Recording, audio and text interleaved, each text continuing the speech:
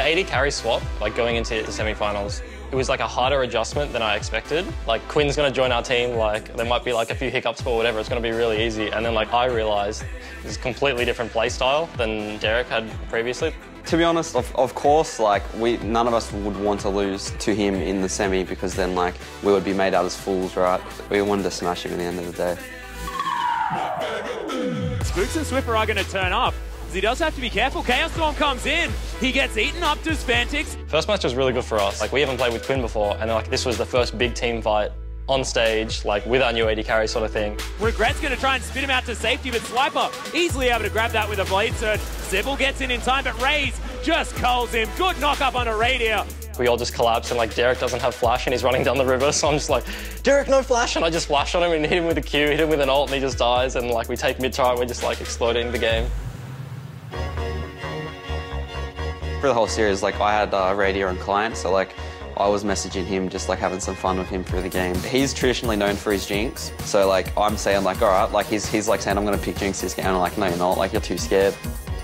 This game, Radio picks Jinx, and I hate Jinx. I think she's absolutely awful. And then there was just this one fight where we're all like bunched up in the dragon pit, and then Regret like flash alley combos like three of us, and I just see this like it like time slowed down and I just see this stupid Jinx rocket just flying in and it just like hits Sam straight in the head and we're all just getting absolutely roasted. I was just so upset that like the Jinx ult was just so useful in this one specific scenario. Ejim the first to die. Chippy's going ballistic in this fight, but Swiper doing a lot of work as well. Fantix in trouble. Look at these tentacles, but he gets knocked up. Can he find Radier? Look at the damage, but Chippys gets the blade surge. From that point onwards, we were like, significantly losing the game. The scenario that we got into, personally, I was like, we don't, we didn't deserve to win this game. There's no way.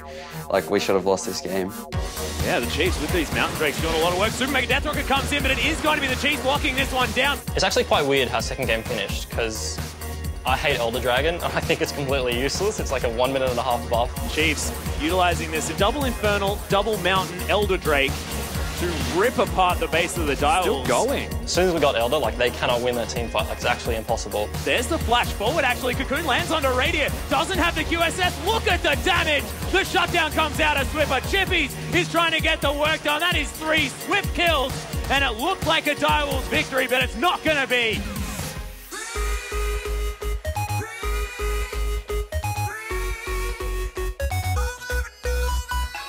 So going into game three, I was still a bit worried for our mid laner because he was he's been he was a bit shaky and like a bit nervous like in the series. He's like young kid. He's playing like his first game with us. Isn't even like a normal OPL game, right? It's like a semi-final, honest, like in the studio on stage versus his old team. As the Culling's just eaten by the door, Fantix exhausted. Really good deadly flourish in the backline as the ultimate's flying through from Raze. Shuts down Radiant with the longest shot I have ever seen. When I watch Quinn like from first person, like I, some of the stuff he does like really surprises me. So like I'm just really excited like how much we've done in like one week with Quinn, like two weeks before finals, that sort of thing, and then like onwards from there. The Chiefs looking to try and just take down the Nexus. Chippys is going to fall down. Sybil now trying to be the hero, but the Chiefs say all we want is that grand final. Within the week, I think um, we should be ready, and I, I, actually I actually see like a very dominant um, like series for us.